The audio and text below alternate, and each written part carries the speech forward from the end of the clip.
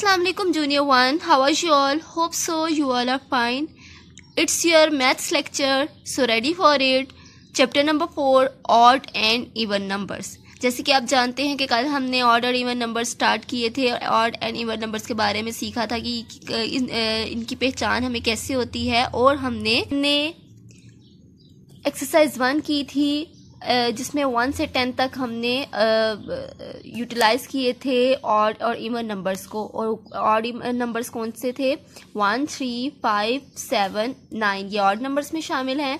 Two four six eight ten ये even numbers में शामिल हैं, ठीक है? इसके अलावा आज हम करने जा रहे हैं एक्सरसाइज टू इस एक्सरसाइज में भी हमने ऑड और इवन नंबर्स फाइंड करने हैं। लेकिन यहाँ पे हमने नंबर्स के ज़रिए फाइंड किए थे, यहाँ पे हम पिक्चर्स के ज़रिए फाइंड करेंगे। जैसे कि कल मैंने भी आप, कल कल भी मैंने आपको बताया था कि ऑड इवन नंबर्स कैसे हम देखेंगे कि ये इवन नंबर है तो इवन नंबर्स के पेयर्स बनते हैं, ठीक है? इवन नंबर्स पेयर्स में, और पेयर किसे कहते हैं? जब दो दो चीज़ों को या दो दो नंबर्स को आपस में रखा जाता है तो उसे हम पेयर कहते हैं। और इवन नंबर्स के हमेशा पेयर्स बनते हैं, लेकिन ऑड नंबर्स के पेयर्स नहीं बन सकते। जब हम पेयर बनाते हैं तो लास्ट में एक नंबर या एक चीज़ ज़रूर रह जाती है। तो इसी के अकॉर्डिंग हम आज एक्सरसाइज टू सॉल्व करेंगे, ठीक है? एक्सरसाइज टू में हमने क्या करना है? हमने एक्सरसाइज टू में हमने सर्कल करने हैं ऑब्जेक्ट्स को in pairs and right odd और इवन जैसे कि मैंने आपको बताया है कि हमने पेयर्स बनाने हैं, पेयर्स बनाएँगे। पेयर्स कितनी चीज़ों के बनाते हैं? टू थिंग्स के। हाँ जी, दो चीज़ों के हमने पेयर्स बनाते जाने हैं। अगर पेयर्स बनाते बनाते लास्ट में एक चीज़ बच जाएगी तो वो और को कंसिडर करेगी।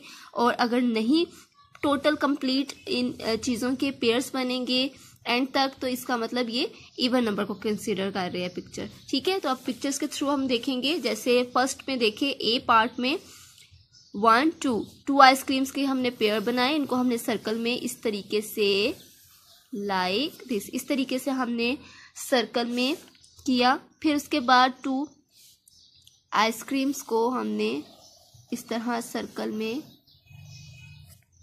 लास्ट में देखें, एक आइसक्रीम रह गई है। इसके साथ एक और पेयर बन सकता है। पेयर तो मैंने आपको बताया है ना कि पेयर तो सिर्फ़ दो चीज़ों का बनता है या टू नंबर्स का बनता है तो यहाँ पे सिर्फ़ एक रह गई है। इसका पेयर नहीं बन सकता। इट मीन्स कि ये ए पार्ट में जो आइसक्रीम है, ये किसको शो कितने नंबर्स में को शो कर रही है? ऑड नंबर्स को शो कर रही है। तो यहाँ पे हम बॉक्स में लिखेंगे odd O double D odd clear every next वाला देखें कैप्स हैं। ठीक है हैट्स है। बी वाले पार्ट में।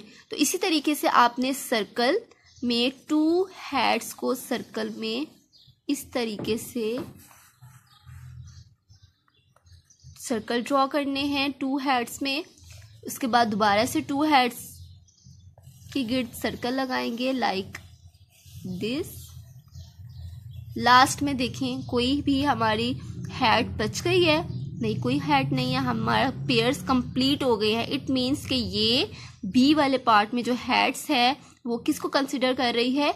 इवन नंबर्स को कंसिडर कर रही है। तो यहाँ पे हम लिखेंगे even E V E N even ठीक है? क्लास उसके बाद है सी पार्ट देखें। यहाँ पे कैंडीज है। How many candies is in here here is only one candy तो वन का कैसे हम पेयर बनाएँगे? वन का पेयर बना सकते हैं हम? नहीं, वन का तो हम पेड़ नहीं बना सकते। जैसे कि मैंने आपको बताया कि पेड़ तो सिर्फ़ दो चीज़ों के बनते हैं, दो दो चीज़ों के पेड़ बनाते हैं तो इसका पेड़ नहीं हम बना सकेंगे। तो पेड़ नहीं बनेगा तो ये क्या होगा? इसको ये किसको कंसिडर करेगा? यस ये ऑड नंबर को कंसिडर कर रहा है। तो यहाँ पे हम लिखेंगे odd O double D odd ठीक है? लास्ट में है मिरर ठीक है? तो यहाँ पे हमने, जैसे कि आप देख रहे हो कि यहाँ पे सर्कल में टू टू मिरर्स को सर्कल में कैच करना है। तो पहले वन टू टू का पेयर बनाया, फिर टू का पेयर बनाया, फिर टू का पेयर बनाया, फिर टू का पेयर बनाया। लास्ट में बच जाता है? नहीं लास्ट में तो कोई भी नहीं हुआ। यहाँ पे भी पेयर्स कंप्लीट हो गए हैं। तो ये किसको कंसिडर कर रहा है? ये भी इवन नंबर्स को कंसिडर कर रहा है। तो यहाँ पे हम लास्ट में लिखेंगे इवन ठीक है? E V E E N even, आपकी राइटिंग नीट होनी चाहिए चाहे आप मैथ्स में कर रहे हो साइंस में कर रहे हो इंग्लिश में कर रहे हो, उर्दू में राइटिंग आपकी नीट होनी चाहिए, ठीक है? तो दोबारा मैं आपको बता देती हूँ कि एक्सरसाइज टू आज हमने की थी, जिसमें हमने सर्कल किए थे। कल हमने नंबर्स के ज़रिए देखा था फाइंड किए थे इवन एंड ऑन नंबर्स और आज हमने ऑब्जेक्ट्स के, यानी चीज़ों के ज़रिए देखा है कि कौन सी चीज़ें इवन नंबर्स में कंसिडर कर रही हैं और कौन सी ऑड नंबर्स को कंसिडर कर रही हैं, ठीक है?